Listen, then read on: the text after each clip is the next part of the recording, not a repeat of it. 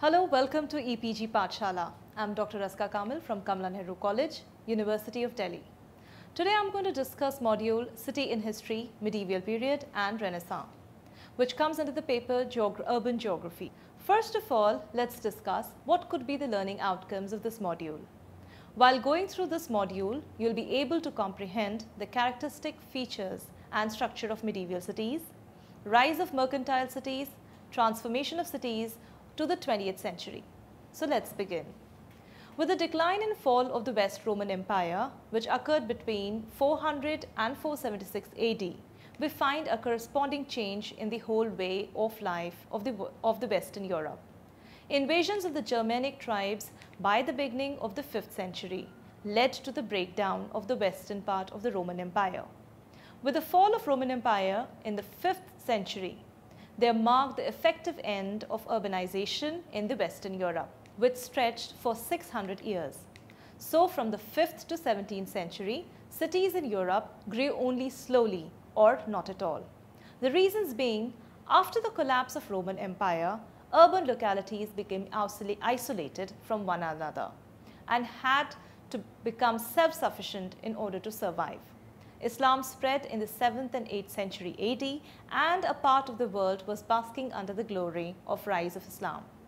The decline of cities that characterized medieval Europe did not happen everywhere. In East Asia, mostly in China, numerous cities founded before the Christian era remained inhabited and economically viable. Most of the cities of Asia, though with a population less than 1 million, were still larger than cities in Europe, maybe because of very different political or cultural systems and geographical environments of the great Asian civilization the raids of Norsemen in 9th century AD which completely eliminated trade between cities. With the loss of trade, the entire region became isolated. Also, agriculture productivity declined. The people rather became more preoccupied with defense and survival. Disruption, ruggedness and non-maintenance of the then existing transport and communication networks that further hindered interaction agriculturalist tribes dominated Europe, who preferred small village commun communities rather than the large towns. There were three different types of forms of cities in this period based on the historic origin. There was a rectangular system with growth spreading outward, slowly from this rectangular area in response to topographic characteristics. The second type of cities developed in spontaneous manner with an irregular disorganized form in which circuitous, winding cowpath developed into streets. A third form in which the towns were designed in advance of its settlement, that is a planned towns. These towns were mostly laid out in fairly rigid gridiron pattern. The central area was reserved for the market and public assembly. Many cities of the time had remnant elements of all the three forms which had developed at different stages in the growth of the city. The characteristic that was common amongst them included the castle, the abbey, the cathedral, the town hall, the marketplace and the wall with one or more gates. The economic functions of the cities remained essentially as they were. Market centers for the agricultural surpluses. Inland commerce grew in importance but was not at par with that of Mediterranean Sea. Therefore, some cities of the Western Europe had their growth stimulated growth greatly by the port function, especially the port of Marseilles. With the invasion of Islam in the period from 571 to 711 AD, trade ties between Germanic kingdoms on the west and the Byzantine Empire on the east was abruptly broken. Muslim founded new cities on the African shore like the Tunis and Cairo. Two of the basic attributes of the cities were a middle class population and a communal organization. During the 10th century, commercial revival was marked with the reopening of long distance trade routes and the presence of urban nuclei represented by fortified settlements. Most urban residents spent their lives within the walls of the city. They thereby developed close-knit societal structures cities were scattered at regular intervals over the country. The increase in the number of the citizens continued only until the city was full. So, Middle Ages developed no large city. as the number of monasteries were often respected by the pagans of the Dark Ages, so it was natural for them to form nucleus of cities of the future. Towns like Würzburg, Brandenburg and Oldenburg, that's Germany, originated as religious foundations. The castle of the local baron or the knight acted as a nucleus of the town with the development of feudal regime. They were built of wood, usually upon artificial mounds. In times of danger, the peasants abandoned their hovels and fled within the walls until the enemy withdrew. Slowly, with the influx of the peasants into the walled towns, they developed an important institution of guild. The guilds defied feudal lords, so the cities became stronghold of trading class. With the revival of trade in the 11th century, great fairs were held at the regular intervals which attracted traders from over the continent. Universities such as Cambridge became a part developed from these trade fairs. Others include Byzantium, Augsburg and Venice. Better tools were evolved and crafted. Horses were used in transportation, windmills were constructed in large number and there was a massive increase in the cropland. The 13th century saw cities as a small, walled and not overcrowded. Gardens were numerous within the walled city and gradually with the time they were filled with inferior dwellings. Venice and Milan with a population of 10,000 were large cities of Europe at that time. During the 15th century, the shop and the house were contained in the same building. Often the rooms were built around the courts with the shop fronting on the street and the living room over the shop, while the bedroom was over the back. Also at this time, the glass became common in windows and inside fireplaces with well-built chimneys were the rule. Houses were usually half timber and stucco in the Western Europe.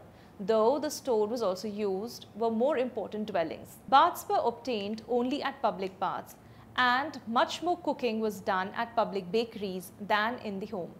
In these early walled towns, it was unusual for the streets to be arranged in regular plan. Various traders were segregated in special quarters and the streets penetrated these quarters rather haphazardly.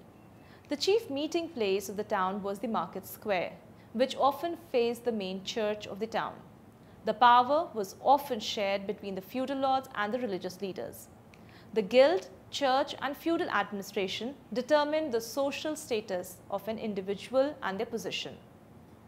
But the social and economic constraint inherent in the dominant social system of feudalism stalled the revival of feudalism. Feudalism was a form of social organization. Feudal lords who formed status hierarchy headed by the monarch political legally dominated the direct producers. Social relationships under the feudalism were not defined through market interactions. They were legally defined and the whole society was organized in terms of a formal and rigid hierarchy of power and dominance. The main focus was on self-sufficiency and local markets. It thereby restricted innovation and commercial expansion. Since the amount of surplus value extracted by the feudal lords in rent and taxes was dependent less on the market force than on the expenditure requirements which increased as they competed for the political status through conspicuous consumption. There was insufficient reinvestment in the productive capacity of agriculture and industry. During the centuries of the Dark Ages, an economy based on exchange was replaced by economy of consumption. But a new merchant class emerged on the edge of the feudal society amongst the landless men, scaped serfs, casual harvest laborers, beggars and outlaws the bold and the resourceful among them being the people, quick with language, ready to fight or cheat became the chapmen or the peddlers carrying their wares to remote hamlets. They were paid in pennies and local products like bee wax, rabbit fur, goose kills, sheepskins, etc. If they prospered, they could settle in the center. The merchants made town and needed walls, wall builder, warehouses and guards artisans to manufacture their trade goods, cart builders and smiths. They needed farmers and herdsmen outside wall to feed the bakers, brewers, butchers within. They introduced self-government, substituting economy for one based on land and thus were likely to oppose local lord and became supporters of king. Towns recruited manpower by offering freedom to any serf who would live within their wall for a year and a day. Merchant and craftsmen in the guilds saw the possibilities of free cities where a person could reach his or her potential within a community setting. Over time, commerce expanded the function of the city and linked it to the expanding power of the state resulting in a system called mercantilism. The main purpose was the use of power of the state to help the nation develop its economic potential and population. The cities at this time were the centers of assembly, places of observance of religious rites, local markets and political and judicial centers. Also military needs were provided for the cities of this era to protect refugees and treasures of the society. Medieval England had a very few towns. Most of the people in the medieval England were villagers and their main occupation was farming. Religious centers attracted settlements which transformed into towns or cities. Some of the examples of the cities include Canterbury, York, Bath, etc. These were big cathedral cities that attracted traders, pilgrims and masses. Medieval towns tended to grow around areas where people could easily meet, such as crossroads or rivers. Towns were mostly settled near to water sources as regular water supply was required. Rivers would provide the water used for washing and drinking and they were used for the disposal of sewage. The regrowth of towns in Europe coincided with the decline of the feudal system and was related to increase increasing economic and political power of an emerging middle class of merchants opposed to economic regulation of their activities by feudal lords. The urban bourgeoisie of merchants, manufacturers and financiers organized into guilds, obtained freedoms notably right to supervise their own markets. Successful towns obtained charters from the kings and in England were known as boroughs. In the more urbanized parts of the Europe, many towns such as Milan, Florence and Cologne were able to become self-governing municipalities, capable of independent political action. In northern Italy, a competitive society of rival city-states had emerged by the 13th century, providing foundation for Italian Renaissance. The power of commerce and trade in medieval urbanism is exemplified in the German city of Lübeck situated at the western edge of the Baltic Sea.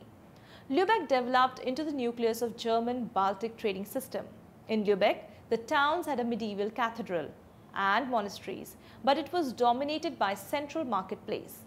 This consisted of shops of merchants and craftsmen concentrated together in the area like street of baker, spice merchants, trade tailors, etc., with a living quarter located above the shop. A mint, the new urban engine of medieval money economy, was located close to the marketplace. Medieval towns did not sever links with the surrounding areas, but enjoyed a symbiotic relationship with the countryside. In particular, medieval towns, with their poor hygiene and higher mortality, grew only because of the influx of rural immigrants seeking employment and economic opportunity. Many cities such as Venice and Nuremberg annexed large areas of the surrounding lands to guarantee food supplies. With an aim towards profit maximization, the city lord ensured that there were more merchants in a town so that more tax could be collected by sheriffs.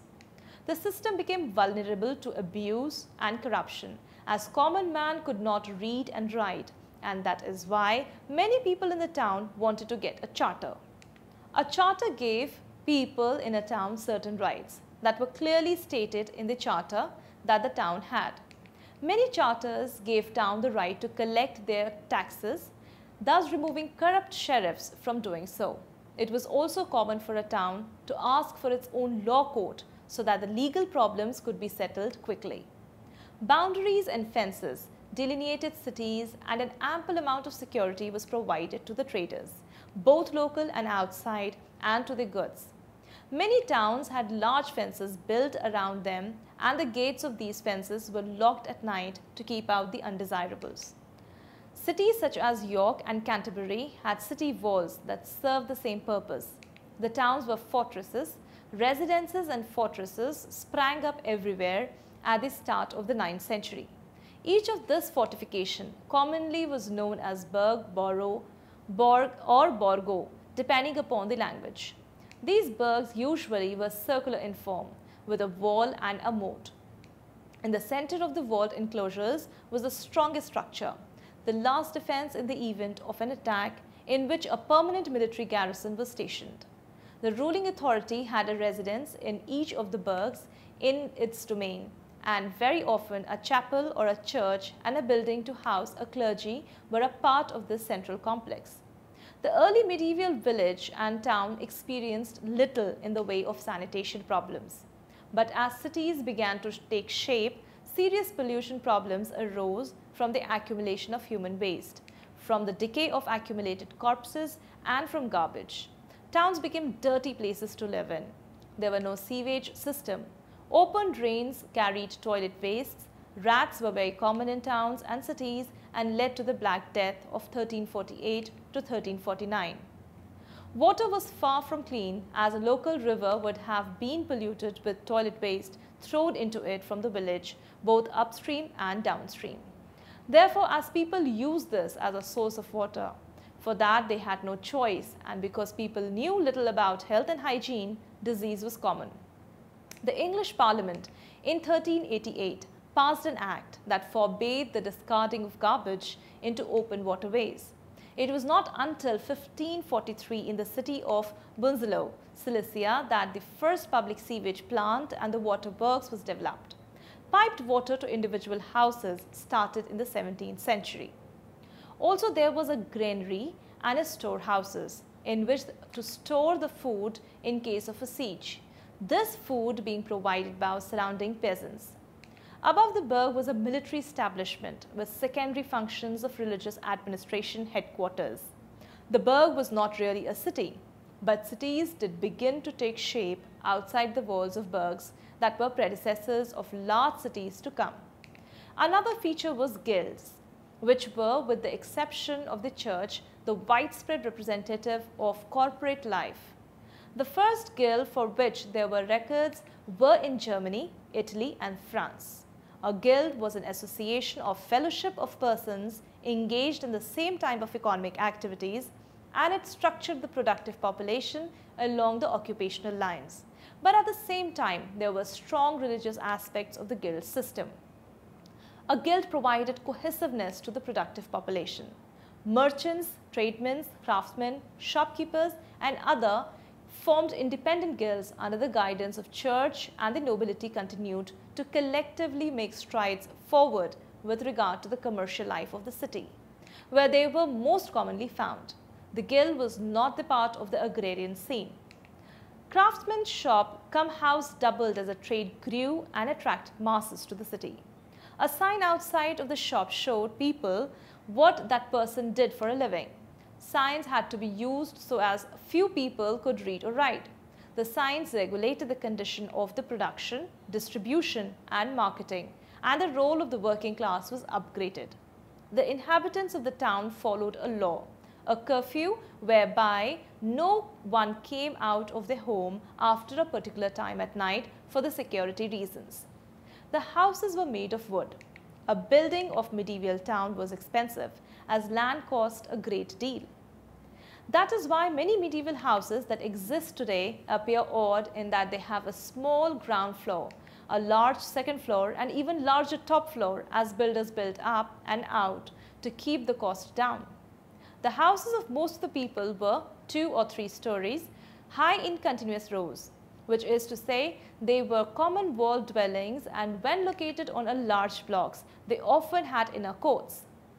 Heating of room became less of a problem. However, when the fireplace and chimney began to replace the open hearth, fireproof roofing, stone and tile construction and whitewashed thatched roofs came into wider use leading to fewer devastating fires. In the 14th century, the urban homes were often the workshops, store that provided the livelihood of the occupants. All in all, the medieval home with its extended family, lacked two desirable attributes, privacy and comfort. The early medieval village and towns experienced little in the way of sanitation problems. But as cities began to take shape, serious pollution problems arose from the accumulation of human waste, from the decay of accumulated corpses and from garbage. Piped water to the individual houses did not get wide use until the 7th century. Communes were first recorded in the late 11th century and the earlier 12th century, thereafter becoming a widespread phenomena. They had a greater development in the central northern Italy, where they were real city-states based on the partial democracy, whereas in Germany they became free cities independent from the local nobility. The walled city represented protection from the direct assault or at the prices of the corporate interference on the pettiest levels, but once a townsman left the city walls, he was at the mercy of often violent and lawless nobles in the countryside. Because much of the medieval Europe lacked central authority to provide protection, each city had to provide its own protection for citizens both inside the city walls and outside. Thus, towns formed communes, a legal basis for turning the cities into self-governing corporations. There were presence of rural communes, especially in France and England. These were formed to protect the common interest of the villagers. Almost every town had its commune. No two communes were alike, but ruled by a common tenet. Communes were sworn allegiance of mutual defense.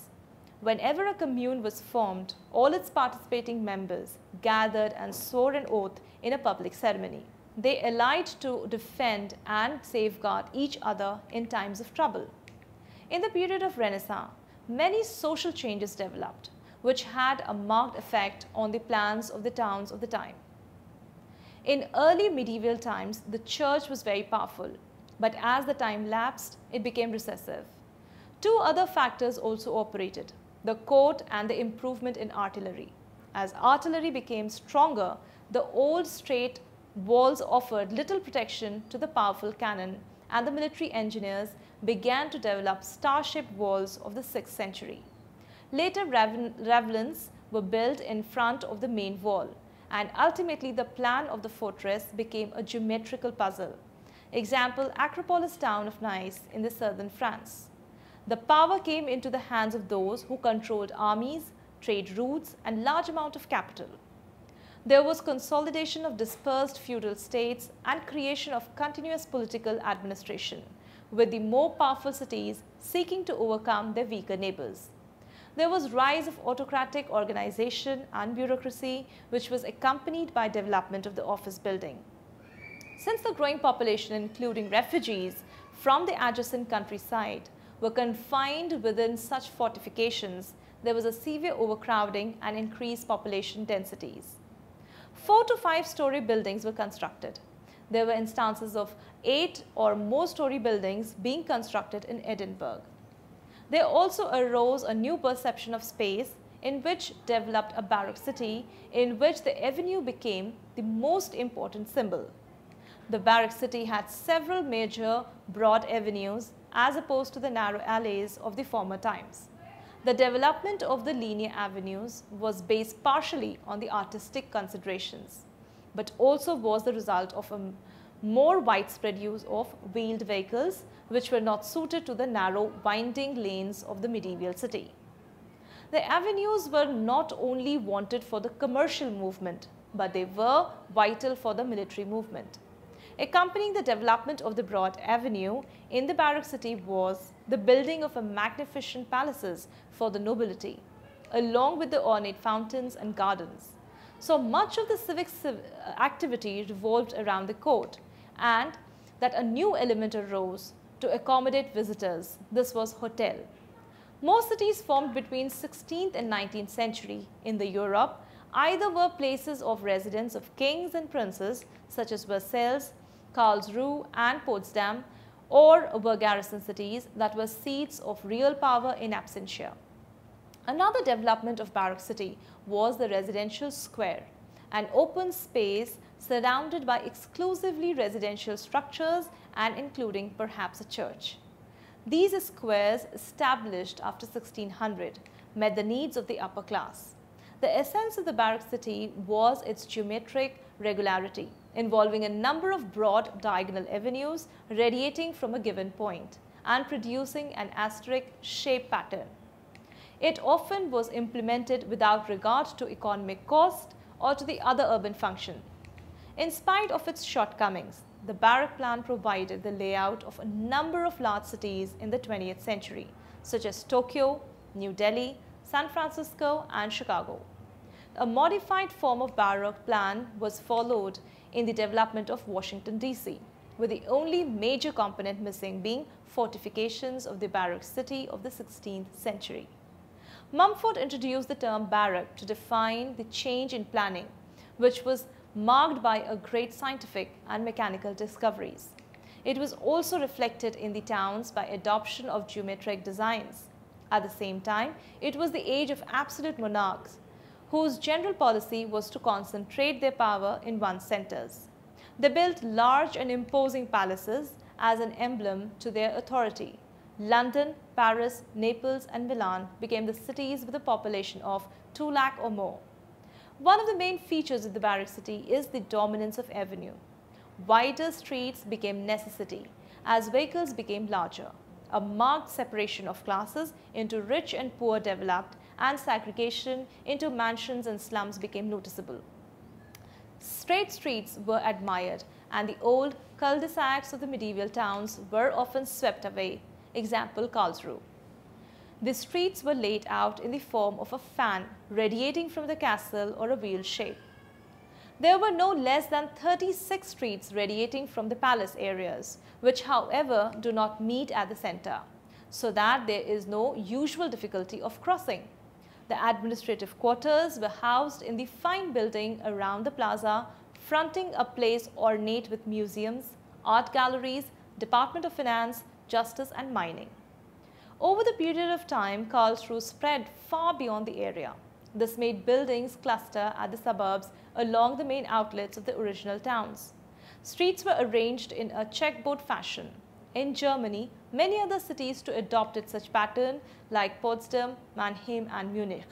And still a salient feature of such American cities as Washington as of 1791 and in modern times of the improved plans of Detroit. H. Fleure in Geographical Review of December 1920 issue of New York gave main features of towns in the northern Europe. He pointed that cities depended upon trade. There must necessarily be a progressive change in the city types as we proceed from the west, say in the France, to the east in the central Russia. To explain Fleure's makes a special reference to Seleucia, a town on the east banks of the Garonne River, an important place before the Romans captured it. In the center of the city, Romans placed the forum or the marketplace. Later, when Christianity reached Toulouse in the 2nd century, churches were built in the city. Cathedrals were towards the south and formed the nucleus of the town. They had a place or open square fronting. Fleure uses Ghent to illustrate this third zone in which commerce was more important than the Roman tradition or the early church. Ghent situated in the lowland, divided into 24 insular districts separated by the narrow waterways. In the 14th century, it was linked with England by means of wool trade, but later its waterways silted up. Moving to the western Germany, which later formed margins of Charlemagne Empire, has been the scene of warfare throughout the centuries. Partly of this, for this reason, many of the older towns have developed around the castle like Heidelberg. Further east, fairs determine the growth of the cities like Augsburg, Leipzig, may be instanced as another German city whose growth has been largely influenced by its famous fairs.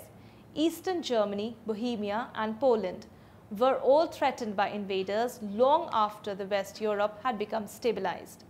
The eastern zone deals with towns which have developed around Acropolis type of nucleus or with veritable marginal forts such as arose in the limitless forests of the northern Russia in the medieval times.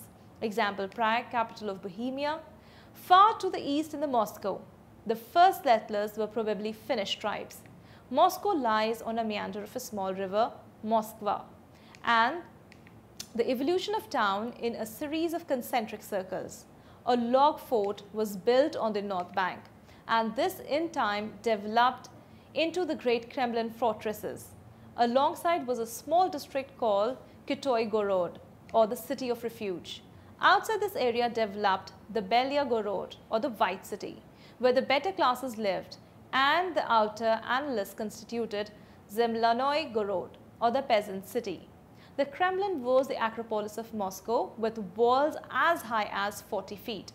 Within them were the numbers of barracks, arsenal palaces and churches as well as other buildings. From the 7th century on, the impetus of the growth expansion, aerial and economic growth were the merchants, financiers and landlords. With the gradual development of commercial city, financial transactions gave rise to new economic activities. The significant aspect of urban society at this time was change in attitude towards land. Under the feudal system, land was leased for a long period and was not sold. This created a stability and continuity in the use of land resources. After the 17th century, land became to be regarded as a commodity. Land rent rose substantially and took larger and larger share of workers' income. The greater gain was to be made from degraded and dilapidated land use, and it was true for London, New York and Paris before the middle of the 19th century. City life during this period was subjected to commercial speculation, social disintegration and physical disorganization.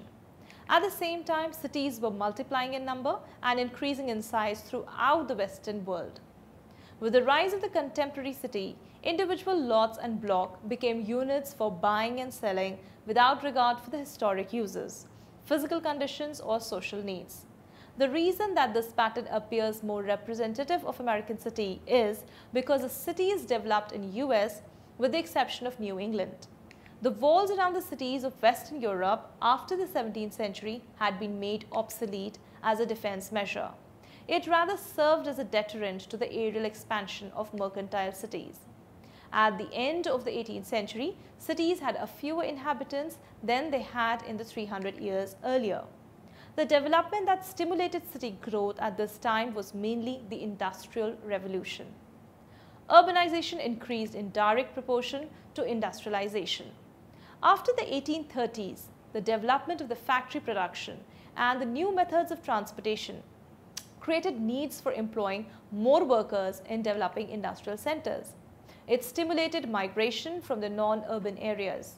Of the prime importance in creating the rise of factory city was the development of steam engine. This created new energy needs, especially for the coal. The main elements of the new urban industrial complex were the factory, the railroad and the slum. The factory formed the nucleus of the new urban organization the factory generally occupies the best sites in the cities. The workers who were vital to the industrial process often resided in the quarters. These quarters were comparable to the lowest serf dwellings in the medieval period. In such districts, there was no open space except the lane between the rows of dwellings which was receptacle for the accumulated rubbish. There was not much improvisation on toilet facilities either the sanitation condition was still deplorable and it resulted in spread of infectious diseases. However, 19th century saw some advances being made in the production of glazed drains and cast iron pipe. It enabled the distribution of better quality of water to increasing number of dwellings units as well as the disposal of sewage.